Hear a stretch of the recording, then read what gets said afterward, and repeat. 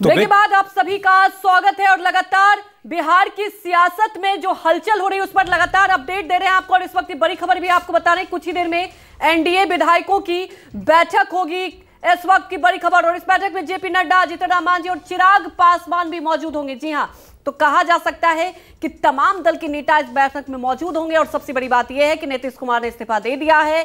कुछ ही देर बाद शपथ ग्रहण भी होगा। इस वक्त की बड़ी खबर आपको बता रहे हैं। तो औपचारिकताएँ जो हैं, अब वो पूरी की जा रही हैं, क्योंकि ये पहले से तय था कि नीतीश कुमार आज सुबह जाएँगे 11 बजे राजभवन इस्तीफा सौंपेंगे, फिर मीडिया के सामने वजह बताएँगे।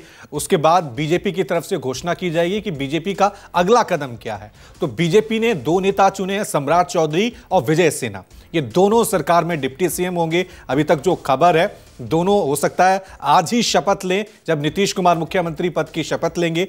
तो बहरहाल बिहार के सियासत में एक और बड़ा सत्ता परिवर्तन हो चुका है। हालाँकि सत्ता परिवर्तन हुआ है, लेकिन मुख्यमंत्री नीतीश कुमार ही। हैं अभी भी सियासत की धुरी, अभी भी सियासत का केंद्र बिंदु, सेंटर पॉइंट जो है, वो नीतीश कुमार ही बने हुए हैं। बिल्कुल, और ये सीधे तस्वीरें भी आपको दिखा रहे हैं, और आप देख सकते हैं कि जो राजधानी पटना में सियासी तपिस बढ़ी हुई है, एक तरफ़ आप देख सकते हैं, सर्द का मौसम है, लेकिन बिहार की सियासत ने पूरे देश की तपिश बढ़ा दी और ये तस्वीरें आप देखिए, सियासत बदलती हुई पल पल की तस्वीरें आपके सामने हैं। बड़ी खबर यह है कि एनडीए की बैठक होनी है कुछ देर में। तमाम नेता पहुँच रहे हैं और सबसे बड़ी बात यह है कि देखिए जैसा कि हमारे सहयोगी रवि ज़िक्र भी कर रहे थे कुछ भी हो जाए मुख्यमंत्री तो नीतीश कुमार ही होंगे। देखिए 2020 में तीसरे नंबर की पार्टी बनी थी जेडीयू उसके बावजूद भी। ये तय है रवि चाहे आरजेडी के साथ जाए या बीजेपी के साथ मुख्यमंत्री नीतीश कुमार होंगे। लेकिन बहुत ए, बड़ा एक बात जो कही जा रही थी कि इस बार हो सकता है लालू प्रसाद यादव कोई बड़ा खेला करे। तो वो खेला अभी तक तो नज़र नहीं आया है। कोशिश उनकी यही थी कि शायद जेडीयू के विधायकों को तोड़ लिया जाए।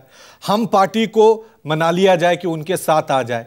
ये कोई भी संभावना, जो बड़ा फेर बदल कोई बड़ा टर्निंग पॉइंट साबित हो सकती थी, अभी तक तो नज़र नहीं आया। अभी तक जो स्क्रिप्ट बीजेपी और जेडीयू ने मिलकर लिखी थी, उसी स्क्रिप्ट पे हमें दिन भर आज तक राजनीतिक जो घटनाक्रम है, वो देखने को मिल रहे हैं। इस्तीफा होगा, फिर दोबारा समर्थन दिया जाएगा बीजेपी की तरफ़ से। राज्यपाल के पास जाएँगे, शपथ ग्रहण समारोह होगा। यानी कह सकते हैं कि विपक्ष की तरफ़ से एक बार फिर कोई चारा नहीं है। नीतीश कुमार ने जो खेला खेला है, उसके चारों तरफ़ ही इस वक्त बिहार की सियासत घूमती हुई नज़र आ रही है। बिल्कुल, और नीतीश कुमार के बारे में कहा ही जाता है, वो कब क्या फैसला ले ले, कब कौन सा कदम उठा ले, कोई नहीं समझ सकता, कोई नहीं भाप सकता। जी हाँ, लगातार आप ये अटकलें लगाई जा रही थी और देखिए, नीतीश कुमार बहुत ही सोच समझकर आज इस्तीफा दिया और आज ही वो शपथ लेंगे। ऐसा पहले भी हो चुका है। और नीतीश कुमार नहीं चाहते कि जो दूसरी पार्टी है, उसे कोई मौका मिले।